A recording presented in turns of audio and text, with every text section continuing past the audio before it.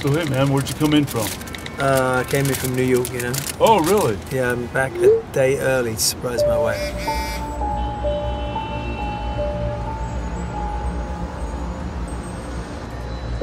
You know what they say, What's that, man? there's nothing better than a squeeze and a kiss from the one you love. I'm gonna go see my. Wife.